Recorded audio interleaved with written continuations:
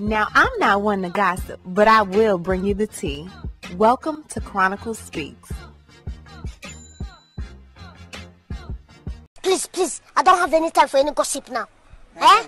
Yes. Look at you. So what is happening in Hollywood? Nobody knows. The worst thing to call somebody is crazy, is dismissive. I don't understand this person, so they're crazy. That's bullshit. These people are not crazy. They're strong people. Maybe the environment is a little sick. So Kanye West has angered the Kardashian clan, and in all honesty, I'm actually afraid for your boy. But before we get into that, be sure to subscribe to this channel and hit the bell for notifications so you don't miss any of this tea. Now let's get back into it. Your boy Kanye West has set Twitter ablaze. He has been going off on the Kardashians. He's admitted to wanting to divorce Kim a long time ago. He's also calling her mother, Kris Jenner, Kris Jong Un, pretty much comparing her to Kim Jong Un. Kanye is going ham, and like I said before, I'm really afraid for him at this point. So let's go back to how this all started. Okay, so Kanye West hit Twitter on July 4th announcing that he was running for president in the 2020 election. Now, he entered late in this election and went independent under his own party called the Birthday Party. Now, Kanye made his first presidential campaign appearance in North Charleston, South Carolina, where he made some statements that took everyone by surprise. The first was this When Harriet Tubman well, Harriet Tubman never actually freed the slaves. She just had the slaves go work for other white people. Y'all, we leaving right now. Now, I think the conversation that really took the Kardashians by surprise was the fact that Kanye West brought up he and Kim's daughter, North West, pretty much stating that the option of abortion was placed on the table. Take a listen to this. Right. She said she was pregnant, and for one month, and two months, and three months, we talked about her not having this child. She had the pills in her hand. Do people know these pills where you take the pills? And if you take it, it's a wrap. The baby's gone. And God said, if you my vision, I'm going to with yours. And I called my wife. And she said, we're going to have this baby. I said, we're going to have this child.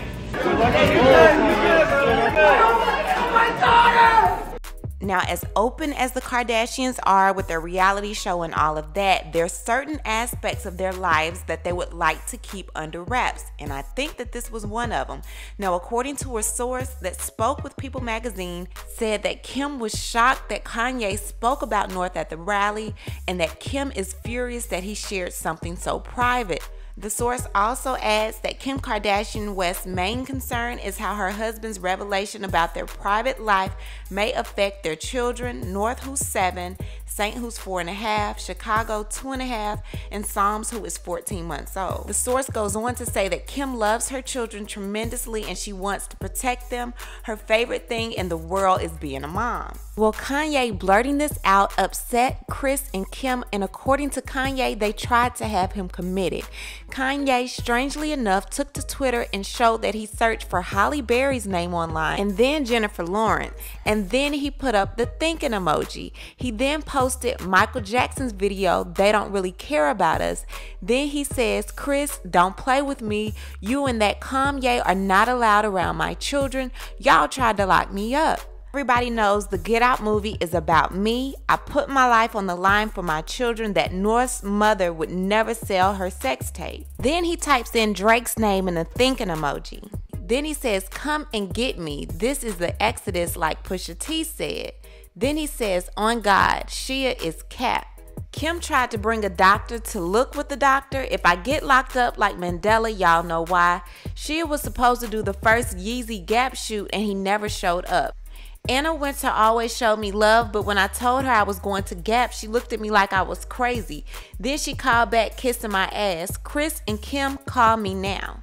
The West children will never do Playboy. West. Then he does a search for righteous indignation. And then he says, I love my wife. My family must live next to me. It's not up to E or NBC anymore.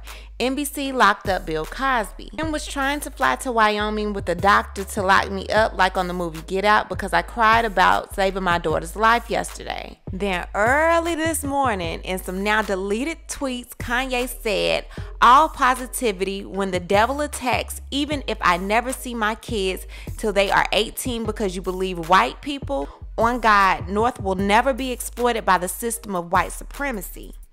And then he posts white supremacy at its highest, no cap.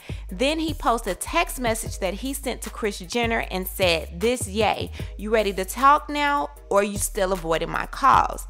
Then he says, This yay, you want to talk or go to war? Then he said, MJ told you about Tommy before they killed him. Kim saved my daughter's life in the name of Jesus. It's God's choice only. I will live for my children. Kris, I'm in Cody. If you're not planning another one of your children's Playboy shoots, come and get me.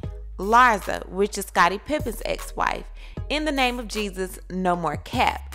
Then he posts Drake's name with a thinking emoji. Should I name more? Then he reposts his tweet about MJ and said, We can handle this like gentlemen.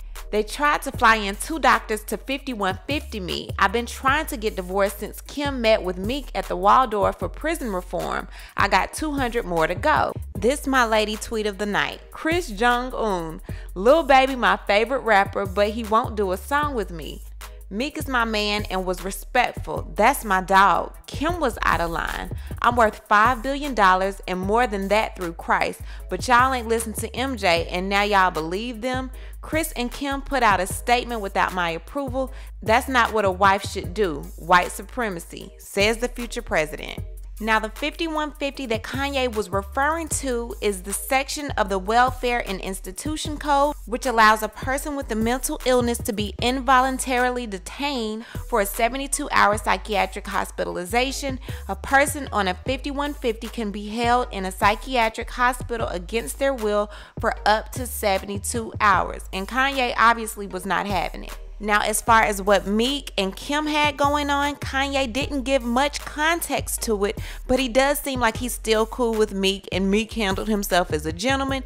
He makes it seem as if Kim was the one in the wrong with that situation. I don't feel like Kanye is going to get any help from the Kardashians and the Jenners.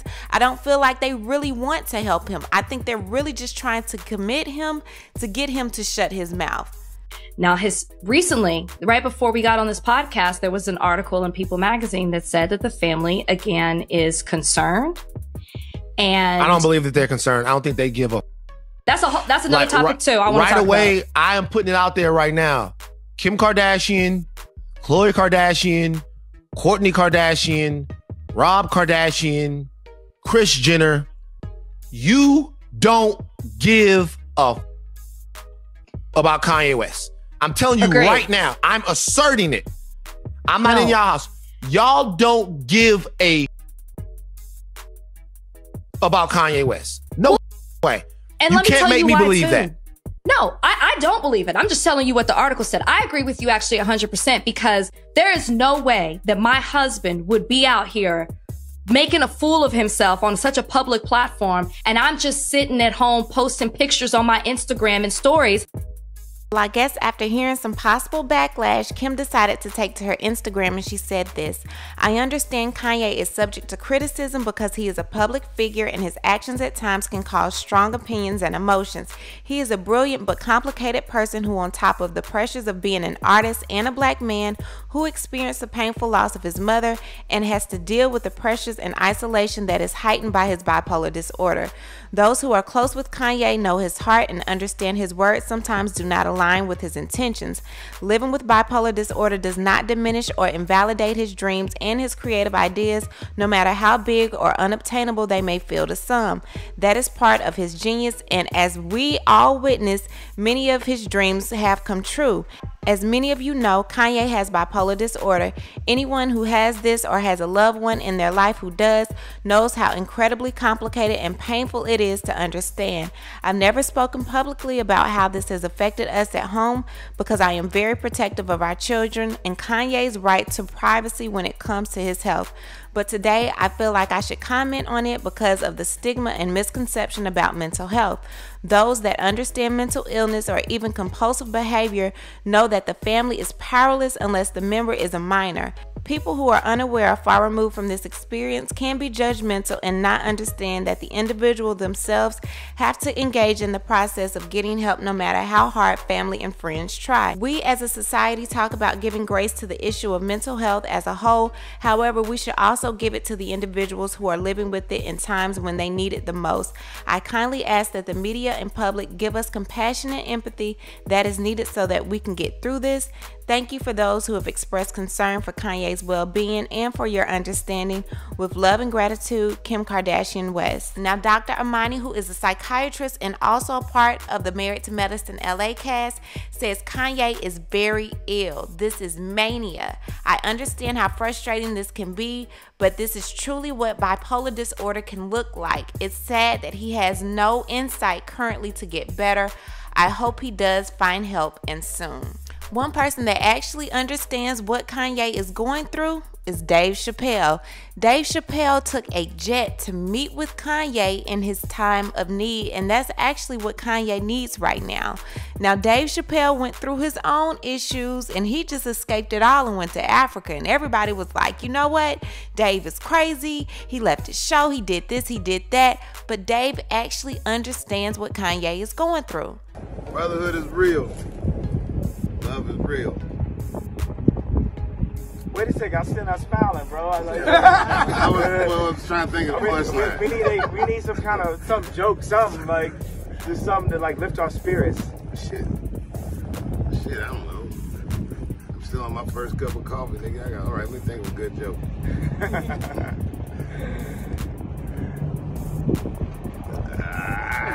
no, we need Dave, Dave, we need you. Don't stop recording, Tony. Keep giving up. We need you, we need you, brother. We need you, we need you. But nah, get this picture. Come over here. I'm praying that Kanye can get the help that he needs. He needs a good support system around him, and unfortunately, I do not think it's the Kardashians. But what I need to do is hear from you. What do you think about Kanye spilling all the tea about the Kardashians and him wanting to leave Kim and everything that's going on with the family? And what do you think about his mental health at this point? Leave a comment, and you know how we do. We'll talk about it down below. Talk to you guys later. Bye. As always, thanks for watching. Don't forget to hit that subscribe button, hit that like button, and hit that bell so you don't miss any of my new episodes.